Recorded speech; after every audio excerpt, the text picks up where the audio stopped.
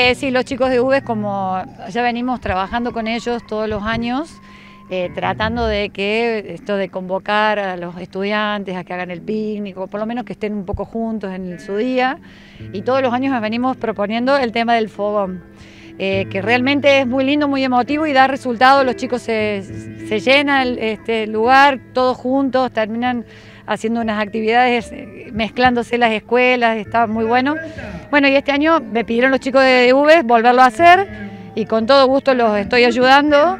Eh, ellos hoy organizaron una juntada acá en el parque con la, presentando algunos números de la gala de UVES, cultural, bueno, un poco de música. Eh, tratar de que, bueno, que la juventud venga. Costó un poco de que ellos vengan en general, pero bueno, están viniendo ahora ya las promos para, eh, bueno, para el tema del fogón, ¿no? Estamos un poquitito huérfanos de, de actividades generadas para los jóvenes en esta época. Ay, vos ahí me tocaste el lado débil mío.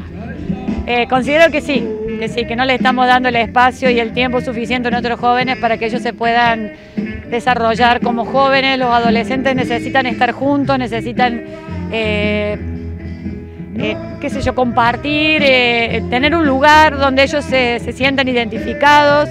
En estos momentos no lo están teniendo, viene de varios años esta carencia. Considero que la sociedad, nosotros mismos, los papás y los dirigentes, no nos estamos ocupando de nuestros jóvenes, ¿no? les estamos brindando eh, un poco de siempre sanciones, sanciones, estamos brindando mucha venta de alcohol, droga, eso sí, pero los espacios para que ellos puedan estar juntos y, no, no, sé, no lo estamos haciendo, pero yo creo que es una responsabilidad de todos, no solamente de los dirigentes, sino nosotros como padres, como educadores, tendríamos que trabajar todos juntos para que nuestra juventud esté un poco más, qué sé yo, encaminada más sanamente, ¿no? Laura, eh, ¿ha cambiado la tendencia de rechazar toda actividad por parte de los jóvenes en la cual no estuviera involucrado el alcohol? Y ellos, eh, sí. Ellos, o sea, el alcohol estuvo siempre. Nosotros somos testigos de que nuestros picnics tenían alcohol. Quizás no la cantidad que hay hoy y la variedad que hay hoy.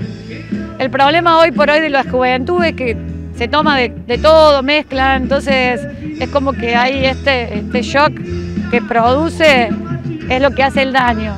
Entonces es la motivación que ellos tienen. Pero a ver, si vos te pones a evaluar una propaganda en la televisión, eh, el alcohol te da la felicidad. Entonces nuestra juventud la estamos formando así.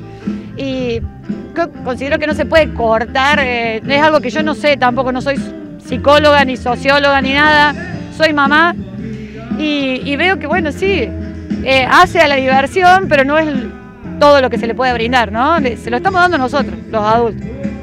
los chicos de acá están de acuerdo, organizaron esto conjuntamente y acá no hay alcohol.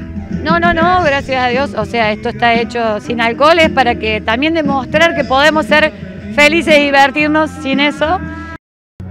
Eh, la verdad que ya van 5 o 6 años que estamos haciendo esta propuesta de la primavera con los sexto años de V y la verdad que es una, jornada muy linda, la idea justamente es la integración a través de actividades lúdicas y bueno, eh, si bien la ciudad es grande, pero entre ellos se conocen, se cruzan y vamos a, lo, lindo que van a ver si logramos que se paren es que, es que se queden todos los buzos iguales, ¿no es cierto? En ronda, bueno, con dinámicas integradoras vamos a romper esa, esa, homogeneidad de los, de los grupos, ¿no? Bueno, es la propuesta, después seguirán más juegos con colores, con mucha, con mucha diversión para pasar al fogón.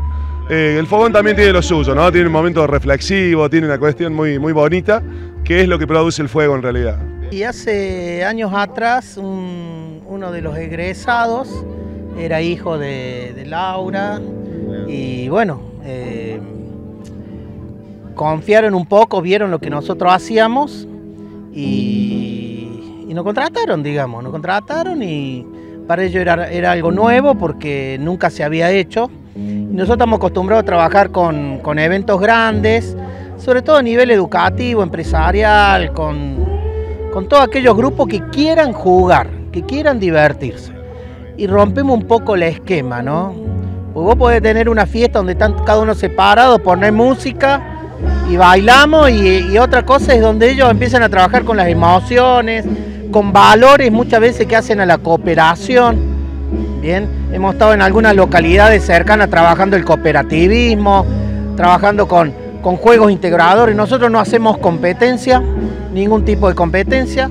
Siempre que hacemos deporte o juego lo hacemos con el fin de cooperar y que deje algún valor. Cuando son edades más tempranas o más, más pequeñas las personas, 8, 9, 10 años, se nos hace fácil y para nosotros un desafío trabajar con, con estas edades que son más críticas. ¿no? no nos olvidemos que la propuesta es diversión libre, unión, fraternidad, trabajar con la emoción de que es su último año y ya entran a la facultad, ya entran a la universidad, si Dios quiere, bien, y, y cero alcohol, ¿no? Que es lo más fundamental, ¿no? Es lo más difícil, ¿no? En ese sentido, porque no estamos, no están para ello en este momento ese tema, entonces eh, creemos que podemos hacer muchos digamos, en forma conjunta y que quede bien parado esta historia que no todas las localidades lo hacen, no todas las escuelas lo hacen.